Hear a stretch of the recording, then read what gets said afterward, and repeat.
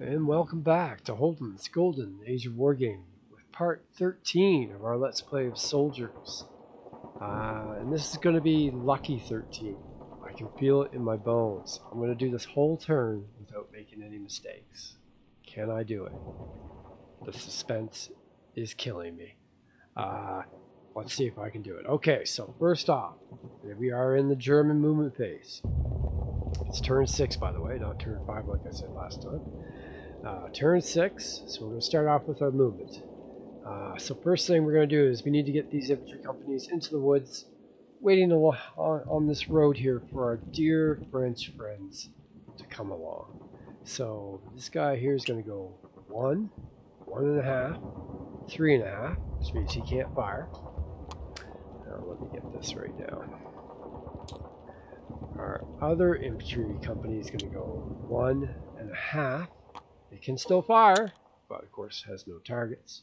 These two, I mean, both on both sides here. This, is, I'm thinking I'm just wasting these. They're just being wasted, but I don't want to leave the woods and go forward, and I don't really see where to go with them going back. So I'm going to leave them there for now. The artillery not moving. We're going to see if I can set up an observed fire this time. In here, these guys definitely aren't moving. Okay, so I want to get rid of this. This dismounted cavalry needs to go. So I'm going to see if I can gather up enough firepower here. So this one's going to go half a point, half a movement there, and this one's going to go half a movement there. So they can still fire. Now do I go here to help get even more? French are too close, and I'm, this game uh, has definitely taught me that uh, being in an empty hex, clear uh, hex terrain, is uh, is not good. It's Not a good decision. So they're gonna stay. They're gonna stay. They're holding that town hex. I think these guys are gonna come up one and a half, and they're gonna stay there. They can all still fire, but of course some of them don't have any targets. So that ends our move phase. So now, we move the markers, and we move to the German fire phase. Now, first thing that happens is the interdictions all come off as soon as uh, the movement phase is done. So they come off, and I'll get rid of all those drawn lines. Next is disruptions. So this is the German move phase, which means that all the German units with friendly phase disruptions on them are removed. So that's this one and this one. This guy and this guy, those don't come off until the end of the French move, the ne next French move. However, over here, this one says enemy phase, but it's a French unit. And because it's a French unit, it's in the, as far as it's concerned, it is the enemy phase because we're doing the German movement. So we just finished the German. So that comes off. Uh, I think, I think I just did that all correctly. Okay, so we're now on to fire. So we're going to try to get rid of this piece right here. So what do we have? All these units here can double their attack strength because they're all adjacent. So we have 6, uh, 28, because that's 14 times 2, that's 28, plus 6 is 34, and then another, so 28, 34, plus another 14 here is 48. 48 to 8, because it's in a town hex, is 6 to 1 odds. So let's mark these as fired. And let's fire. 6 to 1 odds. Can we do it? Can we do it? I think we can. The only way I don't do it is if I roll 6. And everybody knows that I never roll 6s. Ever.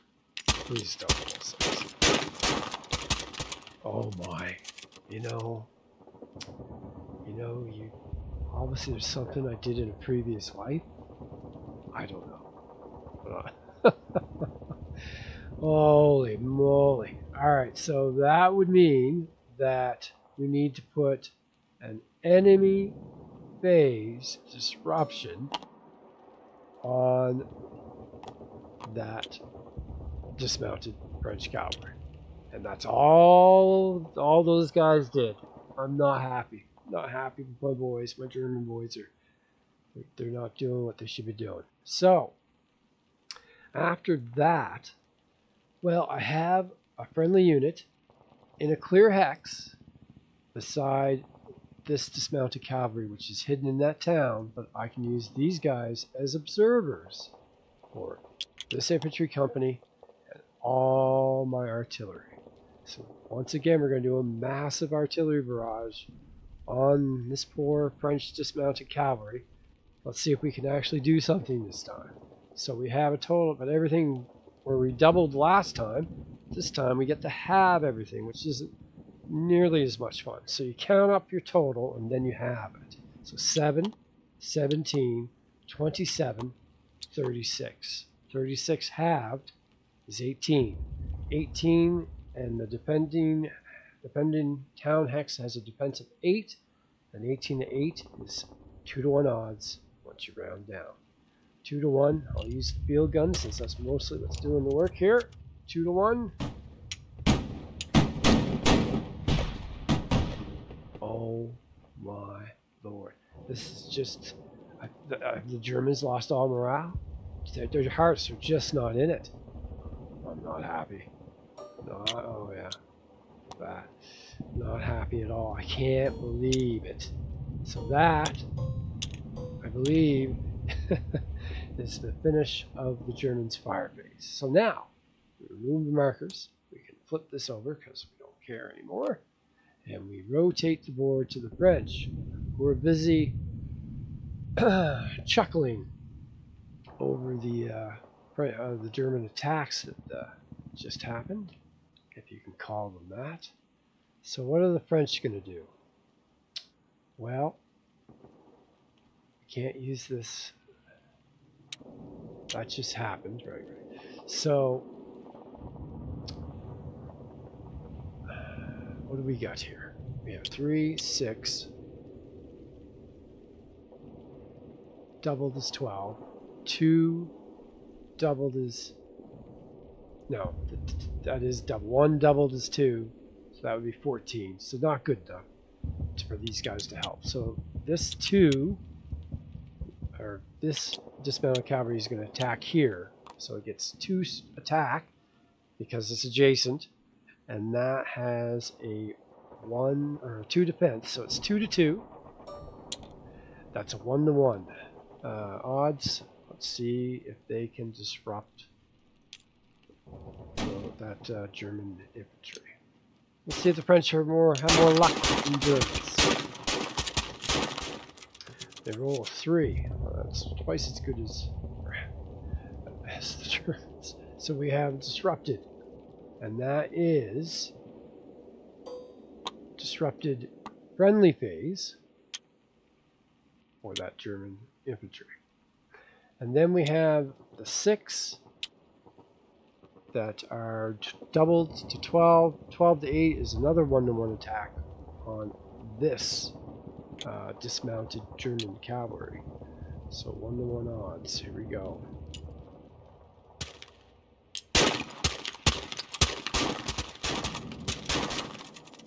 Well, French aren't doing much better. It's a zero. Uh, so that's, uh, I've rolled four times. Three out of the four times, I've rolled a six. I don't know. What should I be playing? Yahtzee. I should be playing Yahtzee. Yep. I'd be a Yahtzee champion. Uh, so that, no. That is those guys. And these guys can't see anything because they're in the town. And there's no friendly unit in a clear hex right beside them to be observers. So, our luck. So I think that leaves us with our trusty old field gun here. And we have uh, two targets, this guy or this guy. And we're going to go for this guy. I think that's what, if memory serves me correctly, it's 15, 16 hexes. So well within our range. We know the field gun has a strength of 6. They're in a clear hex, defense of 2, 3 to 1 odds. And uh, what happens if we roll 6 on a 3 to 1? It doesn't matter. We're at least going to get a disruption. So let's see what happens. Can I go four out of five? Four out of five, ladies and gentlemen. Look at that. I I mean, I'm in the. I need to play war games where you know the higher roll, the better the result.